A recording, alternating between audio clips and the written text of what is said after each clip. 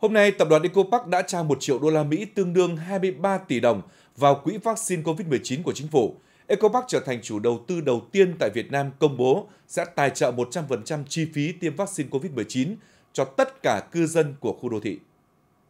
Trong ngày, đại diện tập đoàn Ecopark công bố sẽ tài trợ ngân sách nhập khẩu 60.000 liều vaccine để tiêm phòng COVID-19 cho 100% cư dân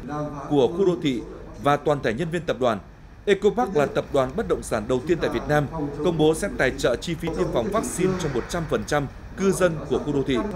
Đến nay, trích từ quỹ lá chắn phòng dịch Ecopark đã chi viện tới các địa phương hỗ trợ tuyến đầu chống dịch, xây dựng và tài trợ vận hành hàng loạt các bệnh viện dã chiến qua từng đợt dịch gần 60 tỷ đồng.